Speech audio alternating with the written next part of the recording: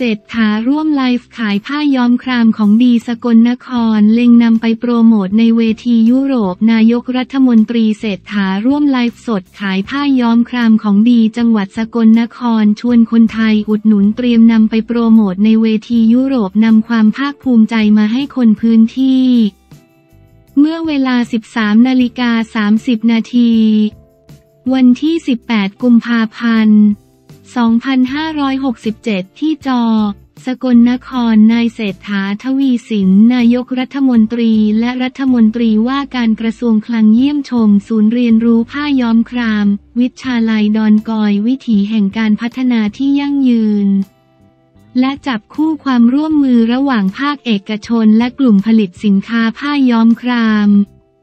ตำบลสว่างอำเภอพันนานิคม จังหวัดสกลนครช่วงหนึ่งนายกรัฐมนตรีได้ร่วมไลฟ์สดขายผ้าย้อมครามกับศูนย์เรียนรู้ผ้าย้อมคราม โดยได้เชิญชวนให้ประชาชนเข้ามาซื้อผ้าย้อมคราม พร้อมกับโชว์เสื้อที่นายกรัฐมนตรีสวมใส่มาตรวจราชการในวันนี้ซึ่งเป็นเสื้อย้อมครามโดยถือเป็นของดีของจังหวัดสกลนคร จึงอยากให้ทุกคนเข้ามาอุดหนุน ซึ่งในการเดินทางไปทวีปยุโรปในช่วงเดือนมีนาคม ก็จะนำผ้าไทยไปโปรโมทให้ชาวต่างชาติรับรู้ด้วย ทั้งนี้นายกรัฐมนตรีได้อุดหนุนซื้อผ้าย้อมครามไปหลายผืน จากนั้นนายกรัฐมนตรีเดินชมขั้นตอนกรรมวิธีต่างๆสำหรับการทำเสื้อย้อมครามตั้งแต่การย้อมจนถึงการทอ ทั้งนี้ ชาวบ้านได้มอบผ้าย้อมครามเป็นที่ระลึกให้กับนายกรัฐมนตรี โดยนายกรัฐมนตรีกล่าวว่าดีใจที่ได้มา เพราะรู้ว่ามีของดีอยู่ที่นี่จะพยายามไปคิดวิธีการสนับสนุนครามให้เยอะขึ้น เพราะเป็นเรื่องของธรรมชาติและมีสีสวย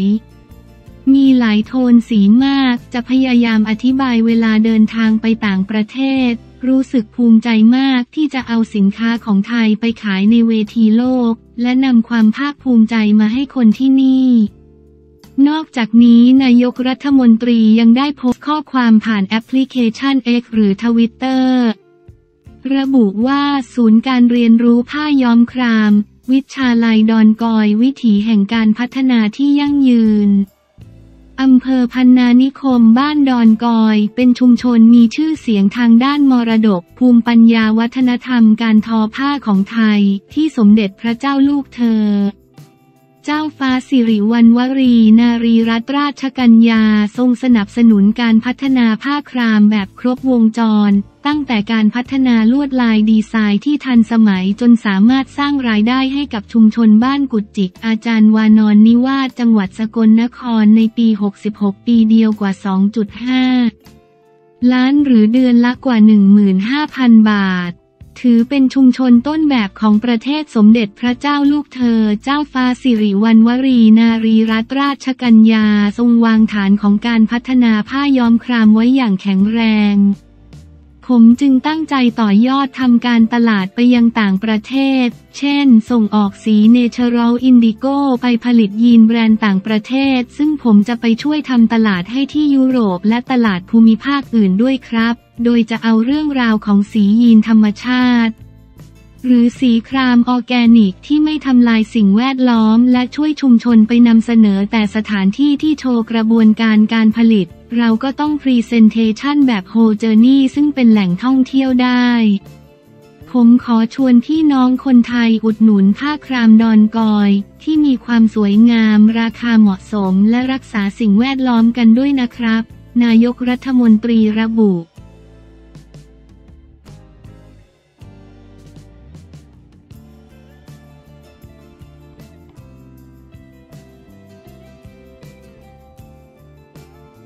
อ้ำพัชราภา มีไฮโซหนุ่มเซอร์ไพรส์มอบดอกไม้ ไม่เคยได้แบบนี้ถึงกับยกมือไหว้วาเลนไทน์ปีนี้ อ้ำพัชราภา มีไฮโซหนุ่มเซอร์ไพรส์มอบดอกไม้ ไม่เคยได้แบบนี้ถึงกับยกมือไหว้เพื่อนแซวเคารพอยู่บนหิ้งแล้ว ถูกจับตาเรื่องราวความรักอ้ำพัชราภาวาเลนไทน์ปีนี้เลยรวมตัวเพื่อนกว่า 20 คนลุยทริปญี่ปุ่นยืนยันไม่ได้หนีเทศกาลวันแห่งความรัก แต่จองทริปไว้นานแล้วนั้นล่าสุดอ้ำโพสต์คลิปลง IG Story ชมคลิป moment น่ารักไฮโซนิน ชนินมีเซอร์ไพรส์นำดอกไม้มามอบให้สาวอ้ำด้วย พร้อมทั้งบอกว่า Happy Valentine's Day นะครับ ปีนี้ได้ดอกไม้หรือยังครับ โดยสาวอ้ำก็ยิ้มเลยตอบว่าได้บ้าง แต่ไม่เคยได้เบนจมาศค่ะ ถึงกับยกมือไหว้ สาธุนะคะ ไฮโซนิน หอันนี้เอามาไหว้เลยนะครับ สาธุนะคะ สาธุค่ะ ไฮโซนินยังมอบช็อกโกแลตให้ด้วย พร้อมบอกว่าช็อกโกแลตด้วยทำเอาเพื่อนถึงกับถามไฮโซนินว่าอันนี้เคารพอยู่บนหิ้งเลยเหรอคะไฮโซนินก็ตอบว่า จะเป็นทริปขอพรที่เราจะไม่มีการบาดเจ็บอะไร พร้อมทั้งอวยพรให้ปลอดภัย ชมคลิป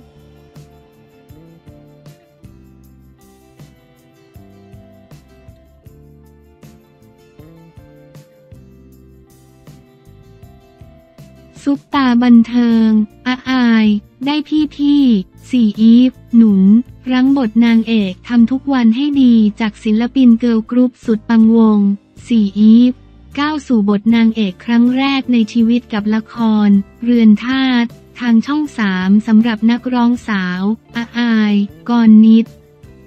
เล้าสุบินประเสริฐหลังสั่งสมประสบการณ์งานทางสายบันเทิงมาตั้งแต่อายุเจ็ดขวบซุปตาบันเทิงวันนี้มีโอกาสพูดคุยกับนักร้องสาวถึงงานต่างๆ ที่ได้ทำรวมถึงเป้าหมายในวงการบันเทิงและความสำเร็จในวัยเพียง 18 ปี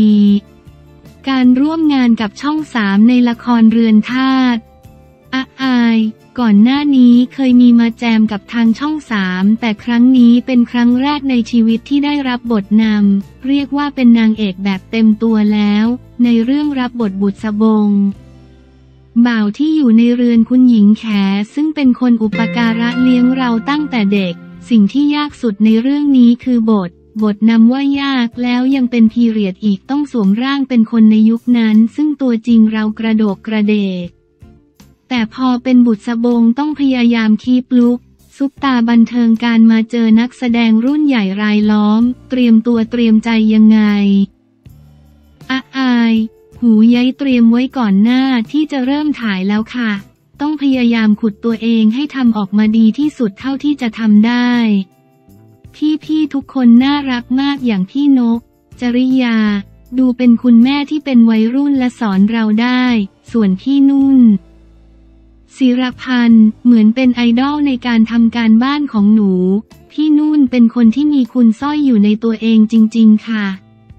ซุปตาบันเทิงเข้าคู่กับพี่ตี ธนพล เป็นอย่างไรบ้างอะอาย ชิลมากในกองเราสนิทกันทำให้กล้าเล่นทุกอย่างเลยลื่นไหลส่วนเคมีพระนางคือท่าเรือนธาตุเดือดมากขนาดไหน ทุกคนสามารถมาพักใจได้ที่เกื้อกูลและบุษบง คู่เราจะเป็นอะไรที่น่ารักมาก เป็นความสบายใจของกันและกัน ตอนนี้มีนามสกุลเป็นนางเอกช่องสามแล้วอะอาย ขอบคุณทุกคนที่ให้โอกาสแต่แอบเขินเวลาคนเรียกว่านางเอก แล้วรู้สึกว่าตัวเองต้องเป็นผู้เป็นคนมากขึ้น หัวเราะ ส่วนที่หลายคนมีภาพจำเราเป็นศิลปินไอดอล แล้ววันนี้ได้มาเป็นนางเอก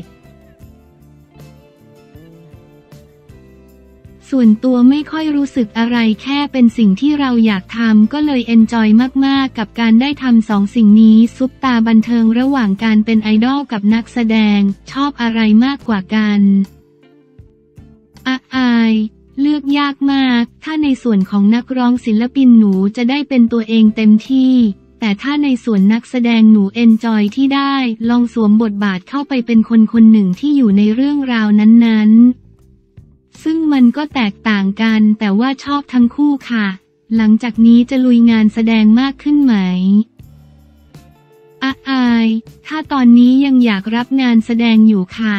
สามารถเล่นได้ถ้ามีเวลาและโอกาส แล้วไม่ได้ซีเรียสว่าจะต้องเป็นนางเอกทุกเรื่อง อยากลองทำอะไรหลาย ๆ อย่างจริง ๆ เป็นนางร้ายก็ได้อีกบทที่อยากลองคือบทคนใบ้ ซุปตาบันเทิงตอนนี้4EVE ถือเป็น T-pop girl group ที่ประสบความสำเร็จมากในยุคนี้อาอายขอบคุณมากค่ะ แต่ถ้าให้มองย้อนกลับไปตั้งแต่วันแรกหลังประกวดรายการเสร็จ แล้วประกาศว่าเจ็ดคนนี้ได้เป็นสี่อีฟทุกคนมองหน้ากันแล้ว คิดในใจว่าวงจะออกมาเป็นยังไง เพราะแต่ละคนต่างคนต่างมาจากคนละทีม ไม่รู้ว่าเพลงจะไปในแนวไหนทำยังไงคนดูถึงจะชอบและลองเสพผลงานของเรา ซึ่งก็ใช้เวลานานเกือบปี เพราะช่วงนั้นโควิดด้วยทำให้เราต้องมุ่งไปทางออนไลน์ แล้วความเป็นตัวพวกหนูเองแฟนคลับจะพูดเสมอว่าเป็นเจ็ดคนไม่เหมือนกันเลย แต่มารวมกันเรียกว่าเป็นความแตกต่างที่ลงตัว ในวัย 18 ปีคิดว่าตัวเองประสบความสำเร็จเร็วไหม อะอาย ไม่เร็วนะคะ หนูเริ่มเข้าวงการมาตั้งแต่ออดิชั่นละครเวที ไปแคสโฆษณามีทั้งได้และไม่ได้ รู้สึกว่าตัวเองผ่านมาหลายสังคมเหมือนกัน วันนี้ถือเป็นเลิกดีที่เราได้มีโอกาสในวัย 18 ตั้งเป้าหมายในวงการไว้ยังไงบ้างอะอาย เป้าหมายที่มีมาตลอดคืออยากทำผลงานออกมาให้ดีกว่าเมื่อวาน ด้วยความที่อยากทำทั้งด้านการแสดงและด้านร้องเพลง ก็เหมือนมีพี่ๆในวงคอยสนับสนุนและเป็นเพื่อนอยู่ด้วยกันตลอดเวลา ทุกคนมีแพชชั่นเหมือนกันเลยพยายามอุ้มชูกันไป ฉะนั้นหนูเลยมีเป้าหมายแค่ว่าทำทุกวันให้ดีค่ะ จิรนัทจงประสบมงคล